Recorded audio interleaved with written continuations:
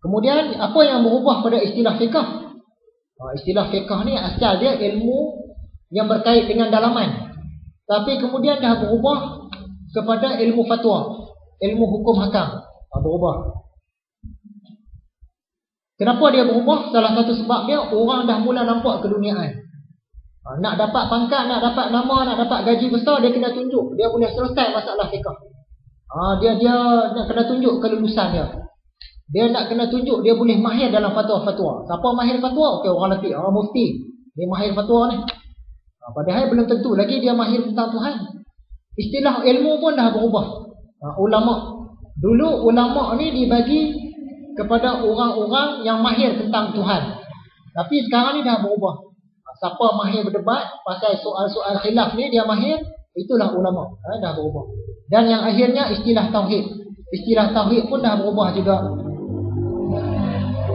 Dulu asalnya tauhid ni dia berkait dengan ilmu hakikat, berkait dengan tawakal kepada Tuhan. Tapi sekarang dah berubah. Siapa mahir ilmu kalam dia itulah ulama tauhid. Ha, dah berubah. Ada satu lagi nas. Ha, las yang kedua. Tadi las yang pertama. Pasal Harut dan Marut. Ha, sebab soalan ni dia tanya oleh Abang Musa itu. Saya cerita dah minggu lepas. Harut dan Marut ni cerita dia dalam Quran memang sangat sikit. Ada satu ayat dia. Dia kata di situ dan mereka iaitu orang-orang Yahudi ikut apa yang dibaca oleh syaitan-syaitan pada zaman Nabi Ibrahim dan Nabi Sulaiman. Nabi Sulaiman tu tak kafir tetapi syaitan-syaitan itulah yang kafir. Syaitan-syaitan tu dia ajarkan sihir kepada manusia satu kerja dan mereka ajarkan apa yang diturunkan kepada dua malaikat itu Harut dan Marut. Ha, jadi apa ilmu yang turun pada Harut Marut ni kita pun tak pasti. Sebab sihir dah sebut dah. Syaitan dia ajarkan sihir kepada manusia dan dia ajarkan ilmu harut dan marut. Sihir satu bab, harut ilmu harut marut satu bab. Jadi ilmu harut marut ni apa dia? Mungkin banyak. Dalam Quran disebut sikitnya. Salah satu daripada ilmu harut marut ni ialah uh, dia dapat pisahkan suami isteri. Uh, dia tengok bahagia aja suami isteri ni, kiranya macam sihir lah juga. Dia buat amalan-amalan tertentu mereka ni bergaduh berpisah. Uh, yang tu ilmu harut dan marut. Jadi siapa dia Harut dan Marut ni? Iaitu dua malaikat. Itu kata Quran. Jadi cerita dia setakat tu saja dalam Quran. Cuma dalam hikayat-hikayat, Khisasul Anbiya, dalam hikayat-hikayat, riwayat-riwayat ada cerita. Punanya mereka ni asal dia malaikat, dia petikai apalah manusia ni dia buat dosa. Kan? Tengok kami ni malaikat. Sentiasa taat. Jadi Tuhan dengar, Tuhan kata aku nak uji kamu. Aku bagi kamu nafsu, jadi manusia, tengok kamu boleh tak Ha, baik macam malaikat sekarang ni.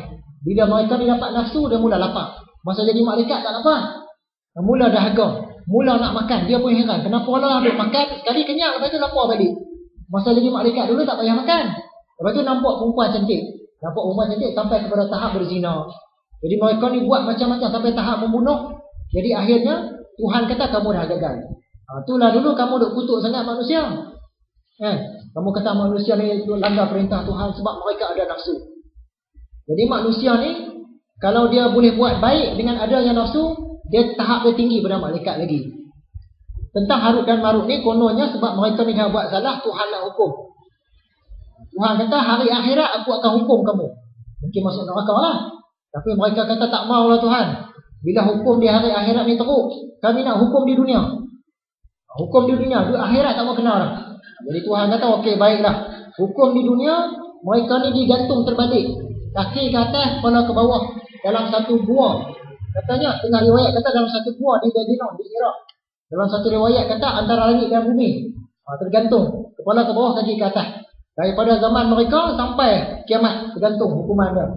Tapi semua cerita-cerita tu tak sahih. Ha, dia dalam riwayat boleh jadi betul, boleh jadi tak betul. Cerita yang betul pasal Harut dan Marut mereka ni dua malaikat confirm. Satu lagi yang confirm mereka ni ada ilmu yang boleh menceraikan suami isteri. Dan ilmu ni diajak pada manusia. Ha, benda tu confirm. Yang saya cerita tadi tu tak confirm. Okey, habis kuliah kita kali ini. Ha, ada apa-apa persoalan? Ha.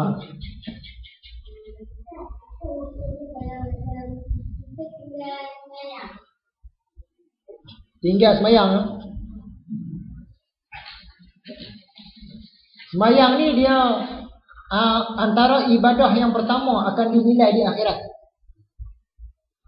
bila kita dua kalimah syahadah beres.